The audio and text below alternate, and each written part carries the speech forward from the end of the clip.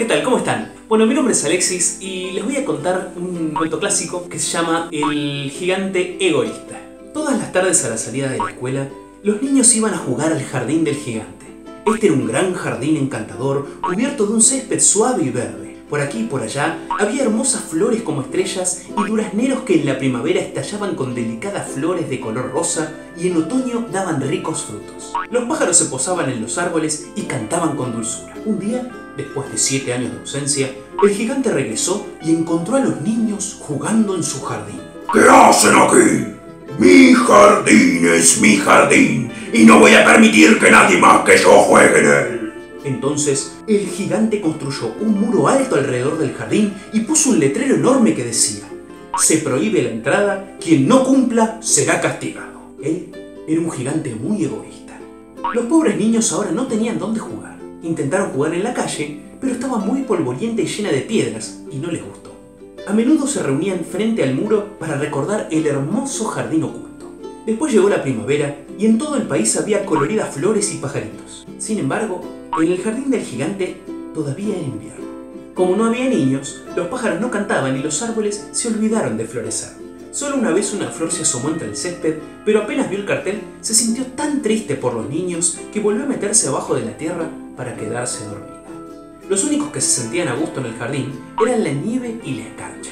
Mm, La primavera se olvidó de este jardín, así que nos vamos a quedar acá el resto del año.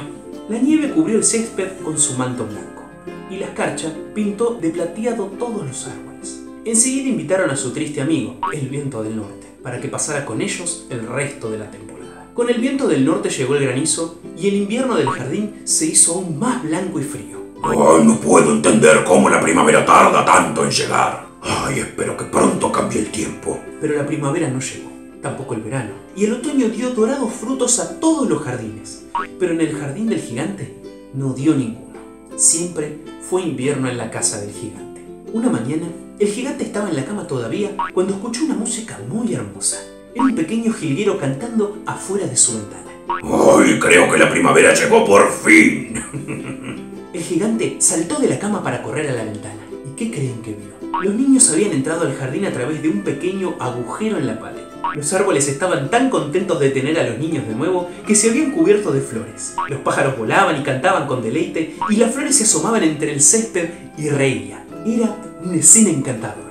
Ay, qué egoísta he sido. Ahora sé por qué aquí nunca llegó la primavera. Mm, Derribaré la pared y mi jardín será de los niños por los siglos de los siglos. El gigante se sentía realmente avergonzado de su egoísmo, así que tomó su hacha y derribó el muro. Si pasan algún día por el hermoso jardín, van a leer un cartel enorme que dice, mantén el amor en tu corazón. Una vida sin él es como un jardín sin sol. Y también van a encontrar a un gigante jugando con los niños en el lugar más hermoso que hayan visto en sus vidas. Bueno, ese fue el final del cuento. No se pierdan próximos videos para seguir descubriendo la cultura en casa. Quédate en casa.